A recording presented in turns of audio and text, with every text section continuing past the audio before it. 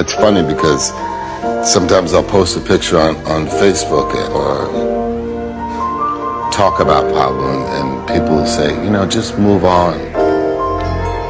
But the relationships in that franchise are so strong and the brotherhood so real that it transcends the experience of making the movie. And you spend 15 years going from being a nobody to somebody brother.